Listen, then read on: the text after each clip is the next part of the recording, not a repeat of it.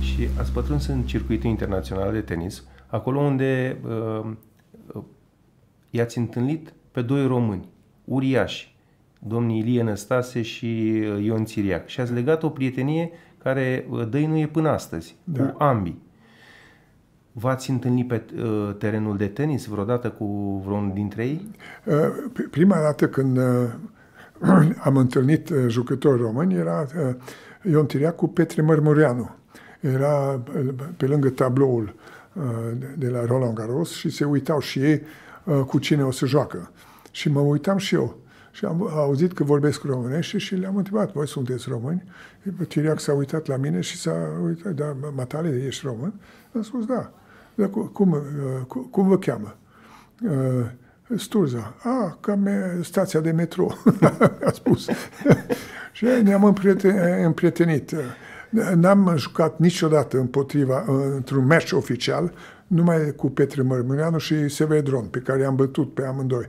Uh, Cu Tiriac n-am jucat niciodată. Într-un meci de antrenament am jucat cu, cu Ilie, uh, care m-a bătut atunci, da. Dar nu a jucat uh, nici ulterior? Poate în ultimii ani, uh, în virtutea prieteniei cu, Nu, cu domnul nu, nu, în Țiriac? match nu. În, în match nu, nu. Nu, am, uh, ne-am antrenat împreună, da, da, a- altfel match nu, nu. Există un mit uh, referitor la dumneavoastră. Uh, Se spune că, practic, într-un meci uh, de Cupă de Vis, dumneavoastră fiind în uh, echipa Elveției, ați refuzat să intrați în teren împotriva României și să jucați împotriva României. Și Da. când antrenorul jucător sau uh, antrenorul dumneavoastră de la acea uh, vreme uh, v-a întrebat de ce nu vreți să jucați, a spus că nu pot să joc împotriva țării mele. Da, așa este.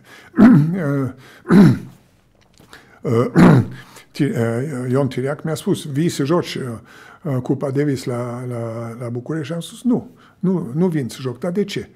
A spus, mă, dacă un Sturza începe să joacă împotriva țării lui, atunci chiar, uh, chiar nu, mă, nu, nu se mai înțelege lumea.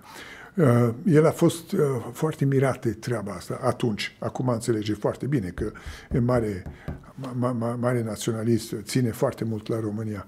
Dar uh, atunci nu era nici vorba ca să uh, joc împotriva României, nici nu m-am gândit la, la așa ceva.